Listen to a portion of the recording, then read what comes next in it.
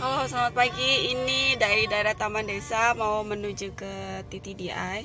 Aku mau survei kereta nih. Kereta apa yang paling banyak dipakai di Kuala Lumpur ini? Tuh ya, itu Vios. Itu Nissan. Itu Myvi. Nanti aku hitung kalau sudah sampai rumah ya. Ini Halo. Wow. Hari ini Benz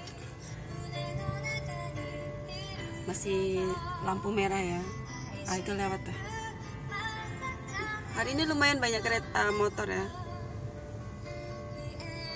Myvi Honda. Myvi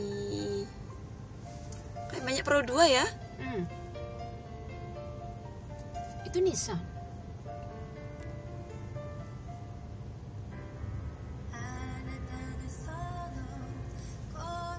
Itu Proton Proton Nissan Proton Tapi biasanya yang apa? Pakai Pro 2 itu biasa pemula. Pemula yang baru punya SIM. license ya Ah, yang itu. baru pakai license dia naik Ah. Pro 2 ya Iya, iya. Lokal K biasanya yang baru pu- punya SIM. Driving license ya. Bro. Hati. Di depan kita ini ya. Ini. Ini lagunya kegedean mungkin kita dimatikan aja. Enggak aja. Itu Myvi. Hari ini masih sedikit kereta ya Hmm. yang lewat kereta Jun.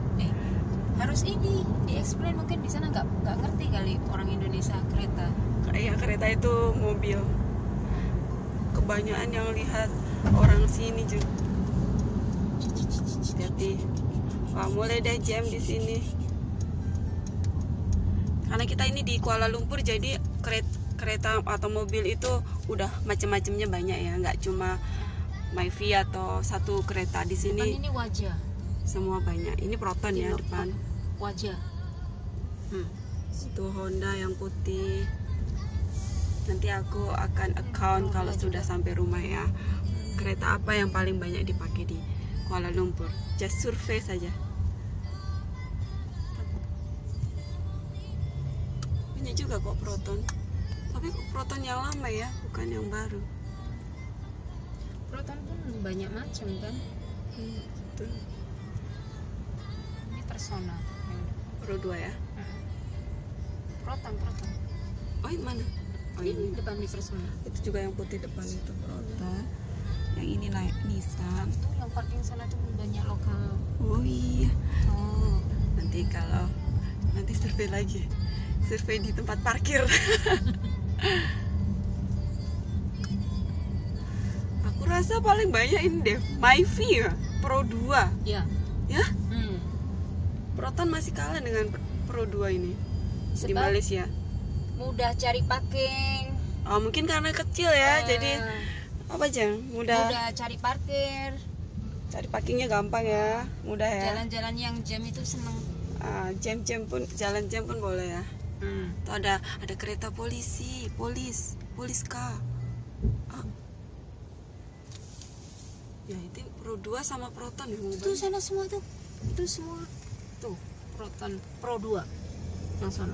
Kalau di Iya. Indonesia kita akan selalu lihat apa? Toyota Avanza. Hmm. Di sini nggak ada.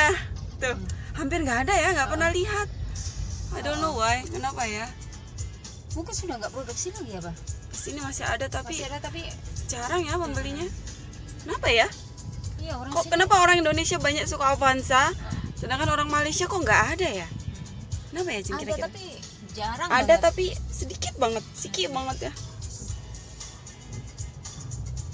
Kira-kira kenapa ya? Mungkin itu aja dulu ya. Bicara eh, apa survei 5 menit selama 5 menit dulu. Nanti aku account sampai di rumah. Apa kereta paling banyak dipakai di Kuala Lumpur ini ya? Survei aja just survei. Oke see you guys. Kebanyakan Toyota di sini Innova